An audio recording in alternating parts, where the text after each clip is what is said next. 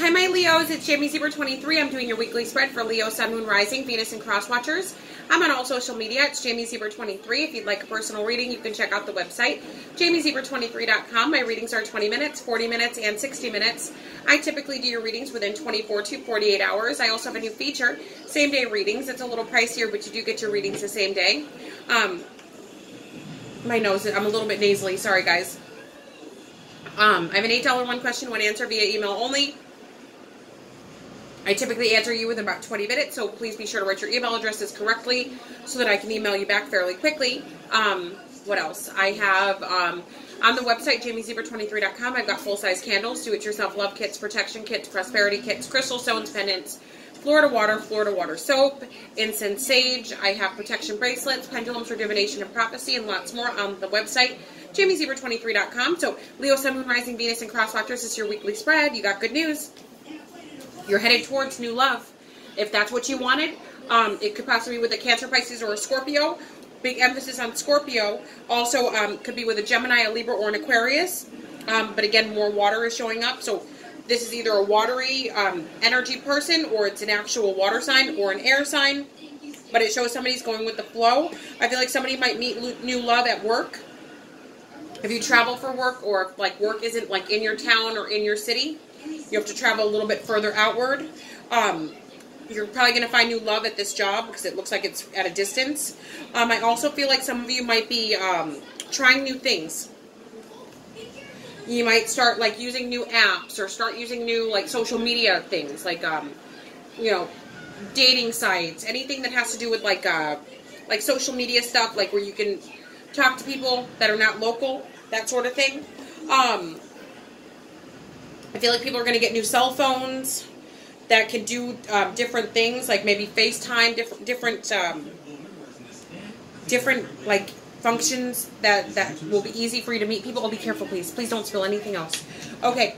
I also feel like somebody might be telling one person one thing, but then doing another.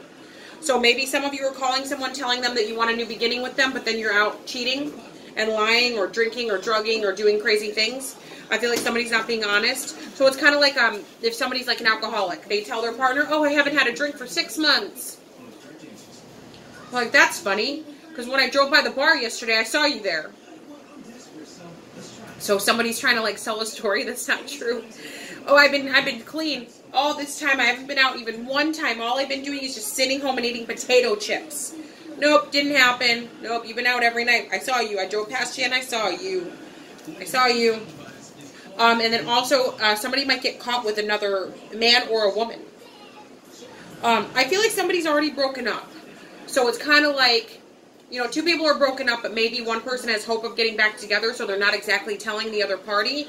You know, we did break up and I'm dating now. They might be telling them, I haven't even started dating yet. I haven't started, but they have.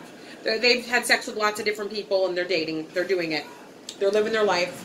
They're going to lie about it, of course, because they're. See, and I don't want to call this cheating because I don't think it is. So it's kind of like it's like if, if I, let's say for example, if I was to tell somebody, hey, listen, I don't want to be with you anymore, go live your life, I don't care what you do. You're like, okay, I'm going to go live my life. Are you sure that's what you want? I'm going to go live. Are you sure? Yep, I'm sure. Stay away. Don't come here. Don't talk to me.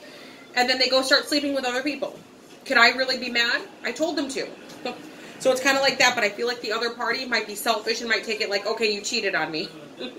Even though he kept telling the person, I don't want to be with you. So it's like that kind of, so I don't really feel like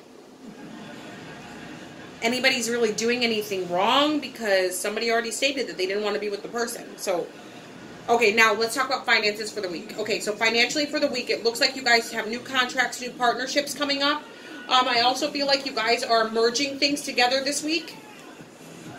Um, some of you will be uh, working as far like your job might be in transportation. Some of you do Uber, some of you do Lyft, but it's going to be a, a very good week for you.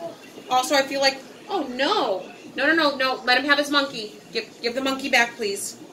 Um, I also feel like for a lot of you, you have business ideas and business plans, and they're going to go very, very smooth this week.